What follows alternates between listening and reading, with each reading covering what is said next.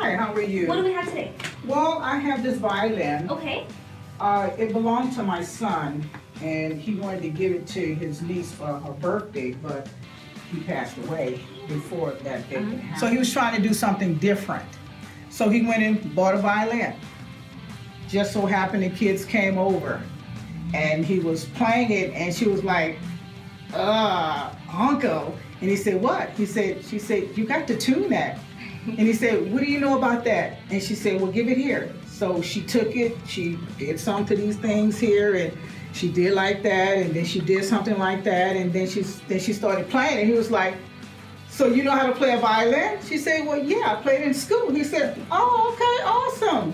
Okay, hopefully maybe one day you'll teach me how to play the violin. Mhm. And he said, okay, great, uncle. But you know, that, that moment didn't come. So he was already sick. Mm. So he had kidney failure. Oh no. So he had passed July 30th, but her Mhm. birthday was September 1st, and he told me, I'm gonna give her that for her birthday since she know how to tune this Yeah. up. She really inspired me, you know, as a kid to want to learn how to play instruments Mhm. at her age. So I said, okay, cool, that's good. You can give that to her as a gift. Yeah, I love it. You Okay. know, so I'm like, okay, so I want to keep that memory going because Mhm. she do know that part, but Yeah. she don't know that he told me I'm gonna give this to her for her Mhm. birthday. So It's gonna be very special. yeah, so she's gonna like that. Mm. I just wanted to make sure that she got it the way he wanted it. Okay. So I, I want to know if I can get her name engraved on it somewhere. Absolutely. So that she know it came from him for her birthday. She Okay. doesn't know she's getting it yet. Oh, it's gonna be an awesome surprise. I love it. All right, let's take this behind the purple curtain. Follow me.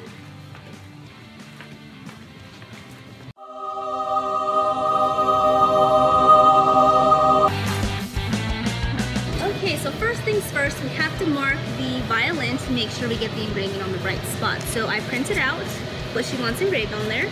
Um, so now I'm just gonna take the back and I'm going to make sure that it looks centered. Um, so I just kind of eyeball it, then I mark it, and then I measure it.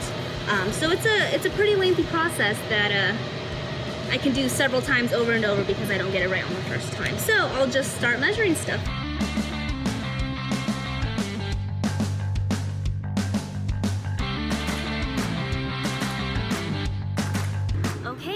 I am about to engrave the um, violin. I have one shot. If I mess this up, I'm going to cry.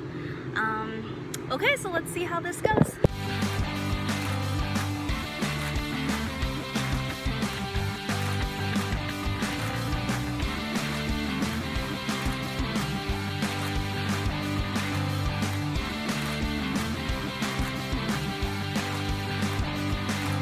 All right, so the violin is back in the case, so we are going to take this to the back of the shop so we can put the final touches on it.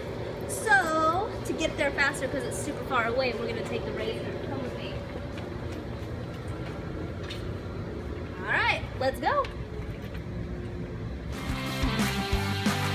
right, so I got the completed violin in its case again, and we're going to clean it up and then call the client and let her know that her order is ready for pickup. Okay, I have the completed violin. We're gonna go ahead and go outside to deliver it because I believe she's here. Let's go see.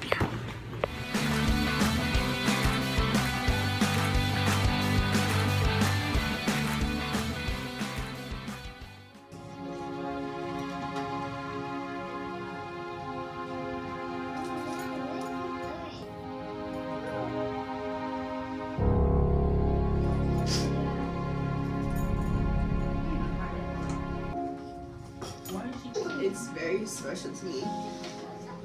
I kind of didn't know that you guys were going to. I didn't know you guys were going to do this. It, thank you so much.